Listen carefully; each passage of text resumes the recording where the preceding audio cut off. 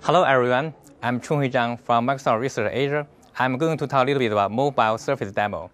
Uh, the basic idea is to bring Microsoft Surface experience to mobile scenarios. The most importantly is to enable 3D interaction with any surface, with the per pixel projector, with a camera and a mobile phone.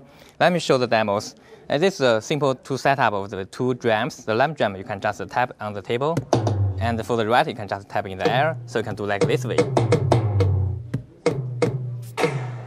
Also, I can control the, the, the background music with my fingers. Let me change to another drum side. Just use a gesture to switch to that.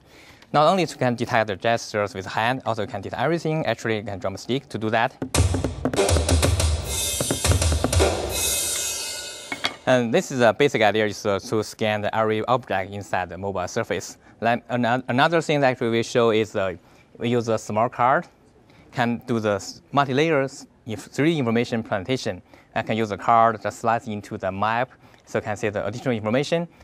Also can do the navigation beyond the present information. Also can slice into this object. Think about that's a virtual 3D object. You can use the card to slice into it so can show multi-layer information here. This just shows small set of the mobile Surface can be offered. Actually, without the 3D information capturing, without the with, with the 3D multi-layer information showing, and with the gesture control, actually we can do a lot of things in the, these areas. So our goal is uh, do the natural user interface for the mobile computing. Uh, thanks.